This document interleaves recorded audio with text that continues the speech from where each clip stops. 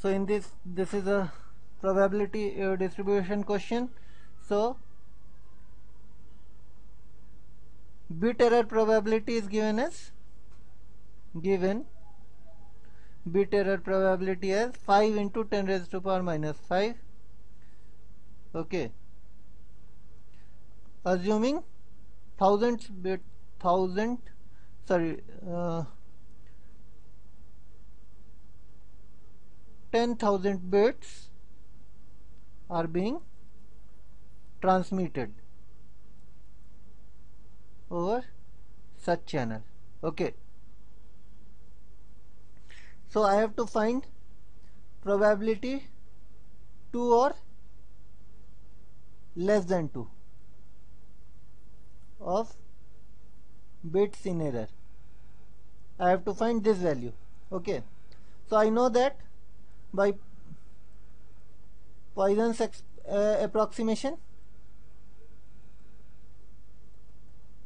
Okay.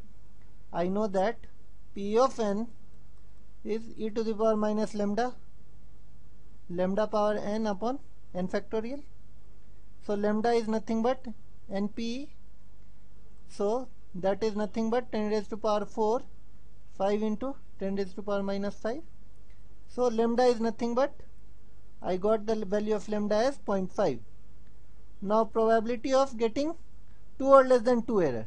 So that is p0 probability of getting p0 probability of getting 1 and probability of getting 2 okay.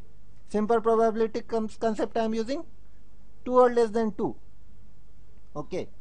So e to the power minus 0.5 0.5 whole square upon 0 factorial okay plus 0.5 upon 1 factorial plus 0.5 whole square upon 2 factorial okay.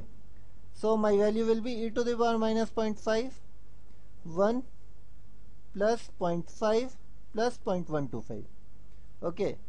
So e to the power minus 0.5 into this total value is nothing but 1.625 okay.